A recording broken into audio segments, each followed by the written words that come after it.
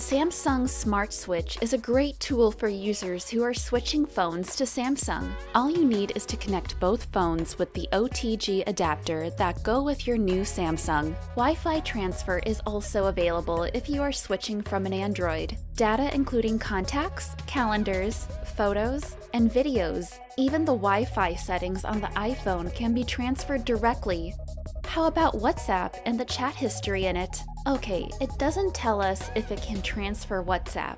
From the data from iPhone apps, there is also nothing about WhatsApp chat history. But still, I would make a try to see if it will transfer WhatsApp. To make it faster, I will only keep apps and data from iPhone apps so it's checking for matching apps to bring from the iPhone and copying data from the iPhone too. Look, it doesn't transfer WhatsApp. Actually, if you are transferring WhatsApp across the operating system from iPhone to Android or vice versa, the only way is to use a third-party app. The data type on the iPhone and Android is totally different, so there are some efforts to make. What if you are switching from an Android phone or even from a Samsung phone? Does Samsung's Smart Switch transfer WhatsApp from Android to Samsung? Sadly, the answer is still no. You will have to make a backup to Google Drive to transfer. To transfer directly in one click, iTransor for WhatsApp is the most recommended tool.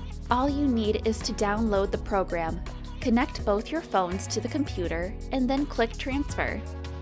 Choose the type of WhatsApp you are transferring, then let the program do all the rest of the work.